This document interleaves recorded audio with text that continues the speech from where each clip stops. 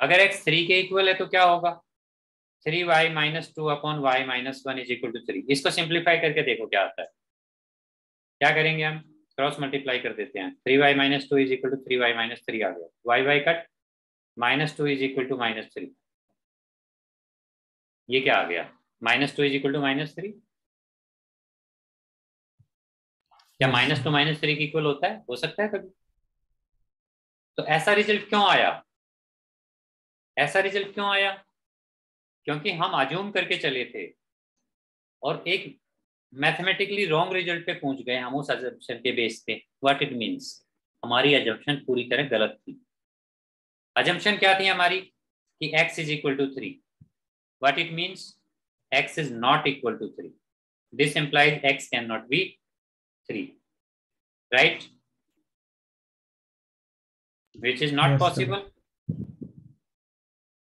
which is not possible, इसका मतलब क्या हुआ? कि x थ्री के इक्वल नहीं हो सकता। अगर x थ्री x एक रियल नंबर है, x थ्री के इक्वल नहीं है तो क्या हो गया? x is equal to three Y minus two upon Y minus one this is a real number and not equal to three right is this? This is set a. It means x a को belong करता है। x y की pre image है और domain set में belong करता है।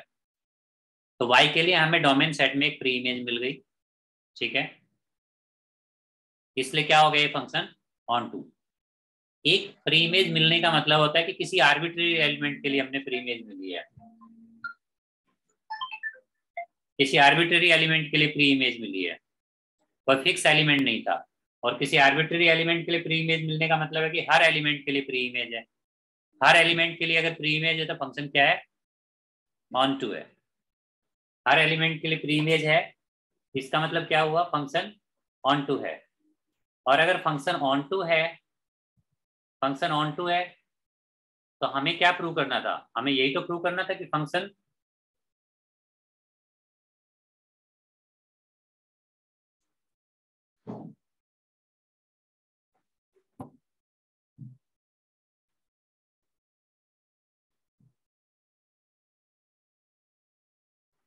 सो so, function हमारा क्या हो गया? वन वन भी हो गया एंड ऑन टू भी हो गया। फ़ंक्शन हमारा वन वन भी है एंड ऑन टू भी है। करेक्ट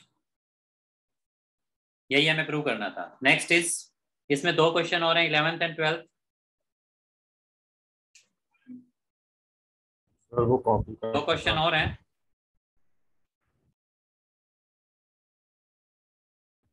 तो वो कॉपी करना था। कॉपी करना है? आपने बोला कि अभी समझ लो और फिर आप कंटिन्यू कर लो हम रिकॉर्डिंग देखते हैं। अच्छा। आपकी मर्ज़ी।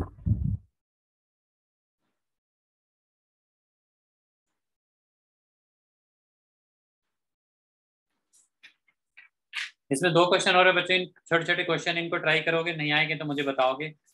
लास्ट के दो ऑब्जेक्टिव क्वेश्चन ठीक है?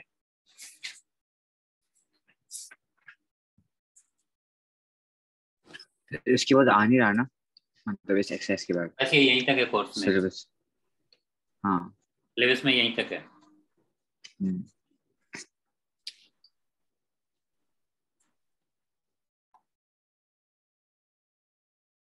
अनिरुद्ध इससे आगे का तो नहीं आएगा ना?